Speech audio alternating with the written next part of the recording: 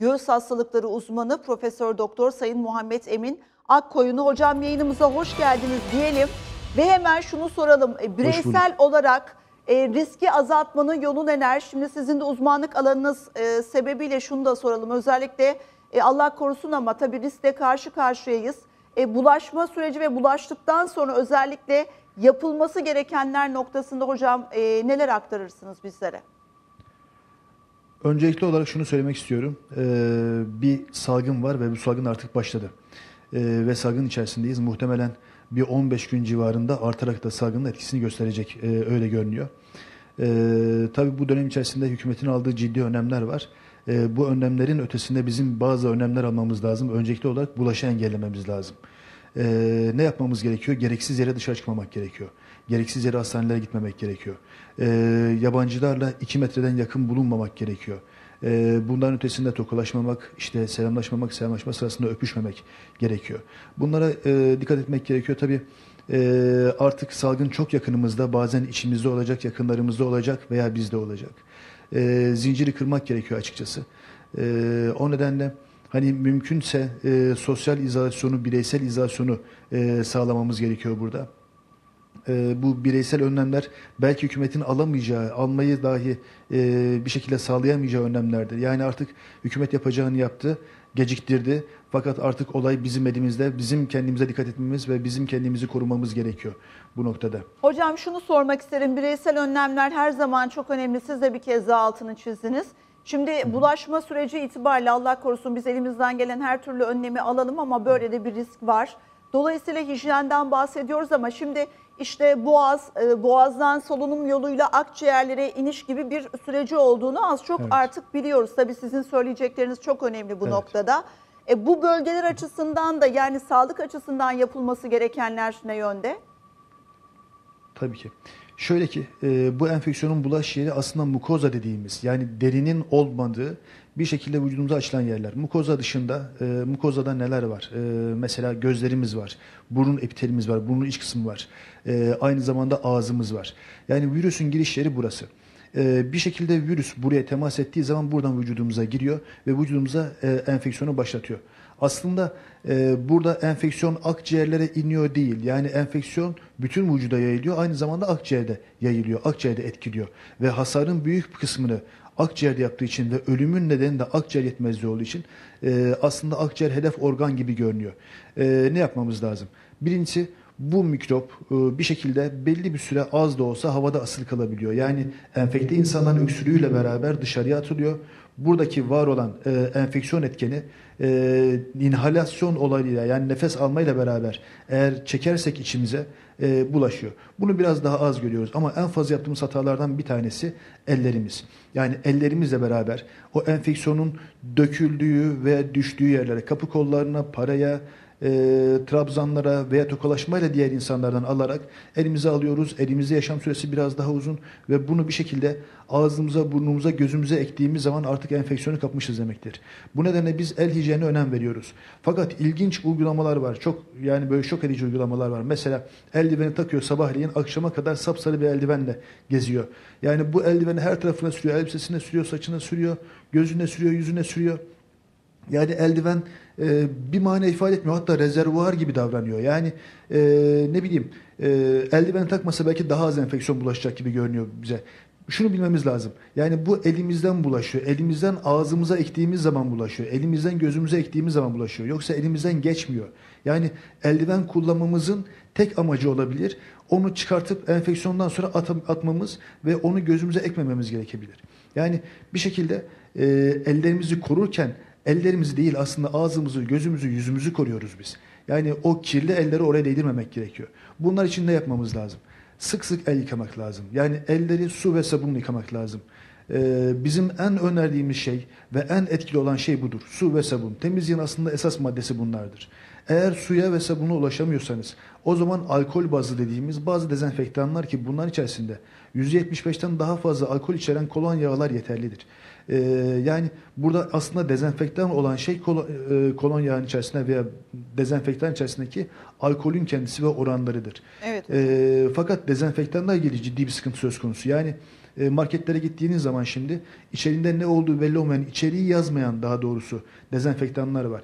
Yani hani belki bir zehir taşıyorsunuz. Bu nedenle e, öncelikle ön planda biz dezenfektanları önermiyoruz. Hem Önce hocam kolonyada yani sudan sabundan sonra kolonyada şu aşamada aslında bizim için yeterli değil mi hocam? Yeterli. Yeterli. Kesinlikle yeterli. Yani bunun da ötesinde yani şöyle ellerinizi bir şekilde koruduğunuz zaman nasıl koruyacaksınız? İki türlü koruyacaksınız. Her tarafa değdirmeyeceksiniz. Yani kapı kollarına işte ne bileyim e, asansörlerde e, düğmelere değdirmeyeceksiniz. Bununla elinizin kirlenmesini engelliyorsunuz. İkincisi ise elinizi yüzünüze götürmeyeceksiniz. Bunu sağladığınız zaman zaten e, gerisi çok daha kolay. Var olan mikrobu da su ve sabun, olmadı kolonya, %75'ten fazla alkol içeren kolonya kullandığınız zaman yeterli olacaktır. Hocam bir de şunu sormak istiyorum. Özellikle şimdi evde kişisel izolasyondan söz ediyoruz. Bireysel olarak yapacaklarımızdan. Ee, örneğin ağız boğaz gargarası, tuzlu suyla yapılan işte e, sıcak su, e, limonlu çay, limonlu su. e, bunlar işte e, en azından aşağı inmesini engelleyecek şeklinde bazı değerlendirmeler de var. E, hocam bunların bir etkisi olur mu? Ya öncelikli olarak şunu söyledim zaten. Hani virüs aslında aşağı inmiyor. Yani mukozadan geldikten sonra vücuda yayılıyor. Ee, bir şekilde vücudunuzun verdiği tepkiye bağlı olarak akciğerler hasar görüyorlar ya da görmüyorlar. Ee, burada Türkiye'deki en fazla bilinen e, yanlışlar, doğru bilinen yanlışların başında tuzlu su geliyor. Yani nereden çıktı, nasıl çıktı bilemiyoruz ama tuzlu su tam bir handikap. Yani e, siz var olan bir savunma duvarınızı yıkıyorsunuz, tıraşlıyorsunuz. Yani e, surlarınızın duvarını bir şekilde yıkıyorsunuz ve enfeksiyonu açık hale getiriyorsunuz. Bu mukozla dökünmelere bağlı olarak hipertonik solüsyon kullandığınız zaman. E, yani kesinlikle tuzlu suyu önermiyoruz. Hani normal yıkama yani normal el temizliği e, beraber ağız, burun, yüz temizliğini tabii ki öneriyoruz. Fakat burada e, tahriş edecek düzeyde sık sık ağzı, burnu, hipertonik dediğimiz çok aşırı tuzlu sularla beraber yıkanması ciddi zarar verir ve tahriş yapar. Bunu önermiyoruz. Bu kesinlikle enfeksiyon riskini artıran şeylerden bir tanesi. İkincisi e, bu şeylerde e, izolasyonlarda özellikle kişinin kendini kapatması bir şekilde enfeksiyona başkasından alması ve enfeksiyonu başkasına bulaştırmasını engelleyecek bir olaydır. O nedenle bireysel izolasyonları özellikle e, toplumla ilişkinin azaltılması enfeksiyonu kıracağına inanıyoruz. Diğer şeylere gelince işte nane, limondur, ılık sulardır vesaire. Bunlar zaten normal sağlık açısından da sizi rahatlatacak, boğaz ağrınız varsa rahatlatacak şeyler. Yoksa enfeksiyonun düzeyini azaltacak bir olay değil. Şöyle bir handikap var. Ee, yine televizyonlarda vesaire çok fazla sosyal medyada gördük. Ee, bu virüs sıcakta ölüyor, onun için 20 derece sıcak su için şeklinde bir şey dolaşıyordu. Ya bu çok komik bir iddia. Şöyle ki bizim zaten vücudumuz 36 derece. Yani 20 derece bizim vücut ısımızın çok altında bir ısı. Yani bu enfeksiyon zaten 36-37 derece çok aktif. Merak etmeyin yani e, 20 derecede bir su içmek e, enfeksiyonu hiçbir şekilde kırmayacaktır. Ama e, normal gribal bir etken gibi düşünün. Nane, limon içmeniz, ıhlamur içmeniz boğazınızı rahatlatacaktır.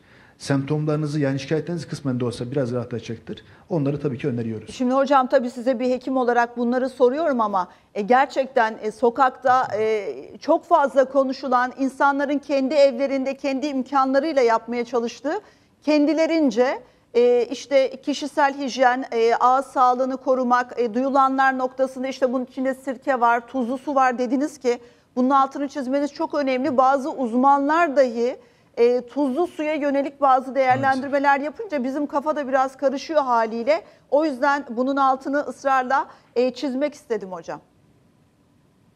Maalesef doğru söylüyorsunuz kesinlikle. Yani kafa karışıklığının belki de en büyük nedeni e, önünde isimlerinin önünde bazı yaftalar bulunan e, meslektaşlarımızın yaptığı yanlış bilgilendirmelere doğru söylüyorsunuz. E şimdi hocam e, şunu da sormuş olayım. E, örneğin bağışıklık sistemi üzerine de çok fazla. Yani bizim bağışıklık sistemimiz, vücudumuz, kalemiz eğer güçlü olursa karşı karşıya kaldığımız zaman atlatma sürecimize ilişkin de belki söylememiz gerekenler var. Bu noktada söyleyecekleriniz önemli hocam. E, bu açıdan ne yapmamız gerekiyor? Şöyle ki e, bilinen bir gerçek var. Bağışıklık sistemi dengeli ve güçlü olan birisi bu enfeksiyondan biraz daha az etkileniyor, biraz daha rahat geçiriyor. E, Çin'de yapılan bu konuda çalışmalar var.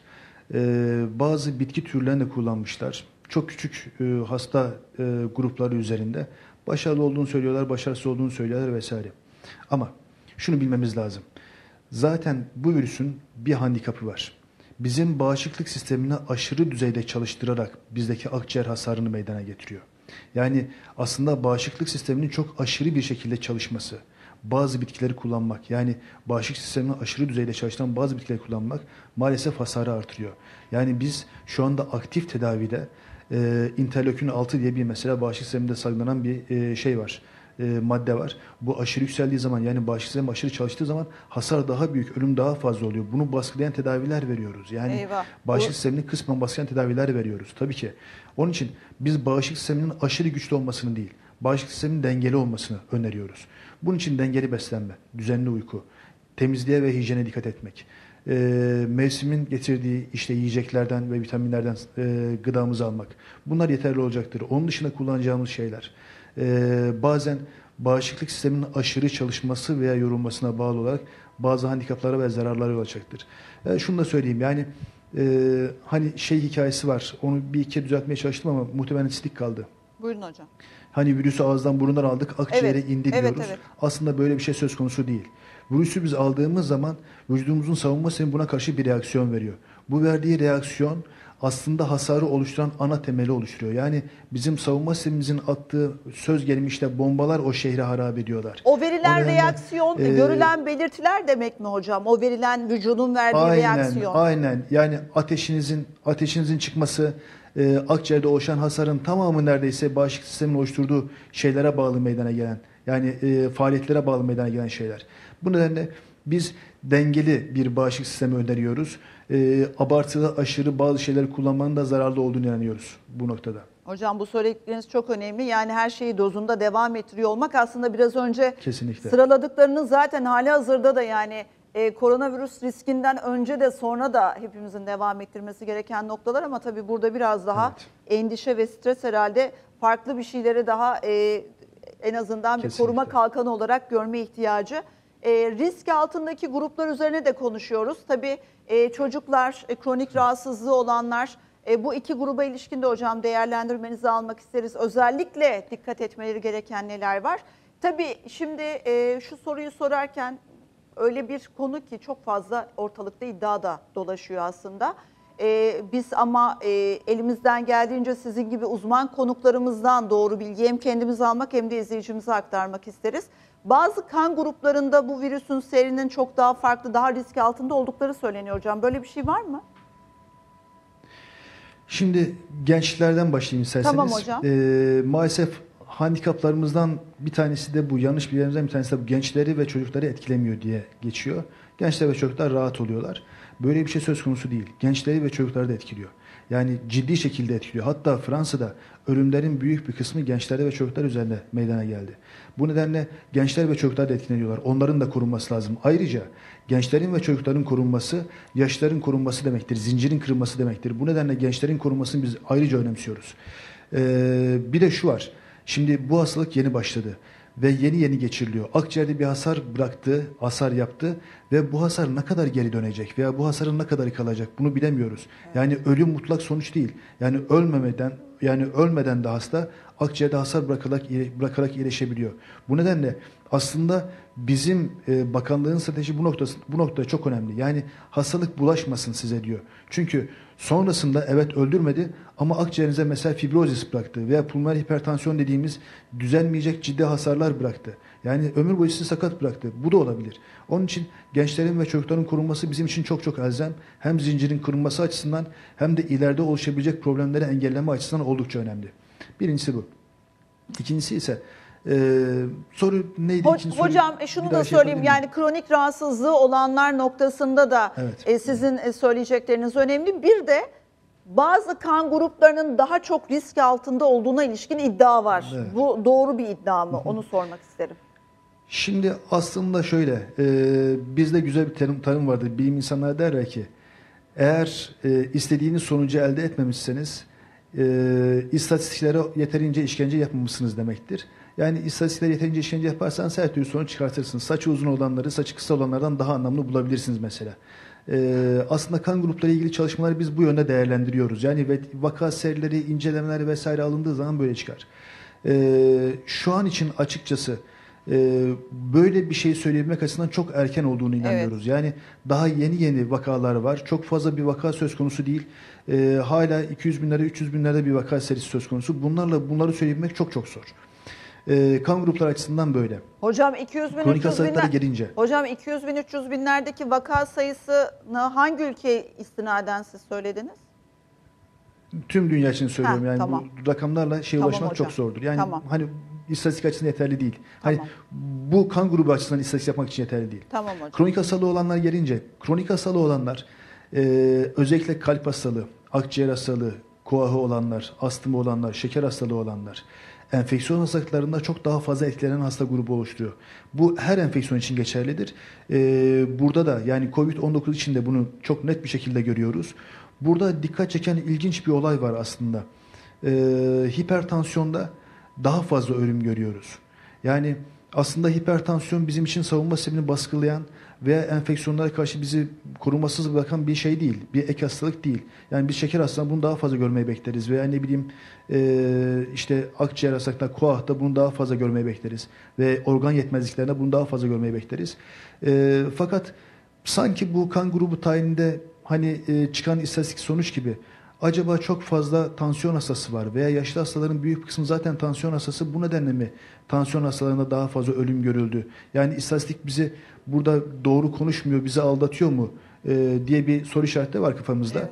Ama şunu biliyoruz ki şu andaki elimizdeki veriler e, kan grubundaki değişiklikler gibi tansiyon hastalığında da ölümün çok daha fazla görüldüğü e, durumunu ortaya çıkartıyor maalesef. Ek hastalıklar daha fazla, kesinlikle yaşlı hastalarda daha fazla ölüm var. Peki e, hocam çok teşekkür ediyoruz değerli katkılarınız için. Profesör Doktor Sayın Muhammed Emin Akkoyunlu. Hocam bu arada sizlere de kolaylıklar dileyelim. E, tüm e, doktorlara, sağlık personellerine siz de so- son derece zorlu bir süreçten geçiyorsunuz. Bir kez daha çok teşekkür ediyorum hocam. Sağ olunuz değerlendirmeler için. Biz teşekkür ederiz. Sağ olun İyi hocam. yayınlar.